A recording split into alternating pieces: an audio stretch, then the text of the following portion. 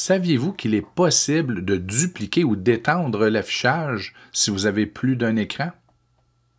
Et qu'on peut le faire en une seconde. Oui. Si vous voulez en savoir plus, restez avec nous.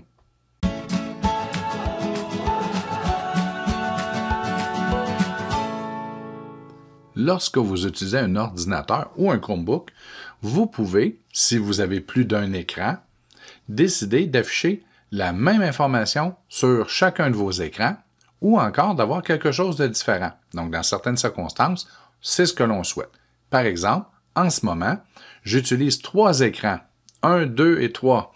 Et c'est clair que je ne veux pas la même, le même affichage sur les trois écrans, sinon ça ne sert absolument à rien. Mais par contre, dans d'autres situations, vous êtes en classe, hein, on est en classe, on a l'ordi devant nous et on souhaite que ce qu'on a à l'écran, ça soit la même chose qu'au TNI ou au moniteur interactif. Parce que la dernière chose que l'on veut faire, c'est être pris enseigné comme ça. Donc, euh, on veut que ça soit dupliqué. Mais même en classe, à l'occasion, on veut peut-être étendre l'affichage. Donc, euh, en temps normal, dupliqué. Donc, ce que je vois moi à l'écran, les élèves le voient au moniteur. Mais lorsque je prends mes présences, peut-être que je voudrais, moi, voir l'outil pour prendre les présences et que pendant ce temps, les élèves, eux, voient le plan de travail. Pourquoi pas? Ou s'ils regardent un documentaire qui dure deux minutes là, moi, je veux peut-être pouvoir faire quelque chose d'autre pendant ces deux minutes, préparer le petit quiz.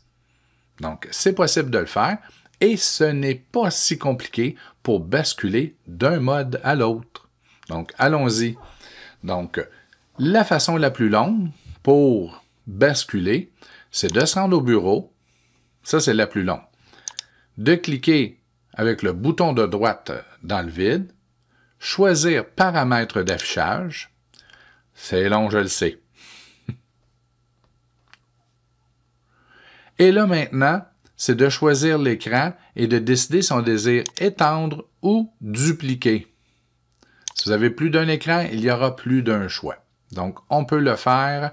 Et si l'écran n'est pas à la bonne place, ensuite, vous n'avez qu'à déplacer l'écran pour avoir la même représentation que ce que c'est physiquement devant vous. Comme moi, j'en ai un, deux et trois. Vous pouvez voir un, deux et trois. D'accord? Donc, si vous êtes en classe, que le TNI est à votre droite, ben, assurez-vous de le déplacer à droite. Maintenant, si vous désirez le faire rapidement, vous êtes en classe, par défaut, on est en mode dupliqué, donc ce que je vois, les élèves voient. Vous désirez modifier le tout, en une seconde, il y a un raccourci clavier et c'est Windows P. Donc, regardez bien, Windows P. Je choisis, si je vais aller en mode dupliquer, ah, j'ose pas trop, mais en tout cas, dupliquer. Donc, sur tous mes écrans, j'ai exactement la même chose. Je désire revenir en mode étendre, Windows P, étendre. Donc, ce que j'ai sur l'écran 1 n'est pas la même chose que sur l'écran 2 et sur l'écran 3. Donc, Windows P, dupliquer. Bon, attendez, j'ai pas fait la bonne touche. Windows P, dupliquer. Windows P, étendre. Ça se fait rapidement. Donc, vous avez le meilleur des deux mondes. Voulez-vous que les élèves voient la même chose que vous ou non? Donc, euh, vous pouvez l'utiliser dans de différentes situations, mais en réalité, Windows P, ça fait des miracles. Et vous avez de quoi de similaire aussi sur le Chromebook, si jamais c'est un Chromebook que vous utilisez. Je l'ai oublié de mémoire, mais il y a un raccourci aussi pour basculer, pour changer le mode d'affichage. Donc, euh, bon affichage, bon travail et c'est à vous de décider ce qui vous convient le mieux.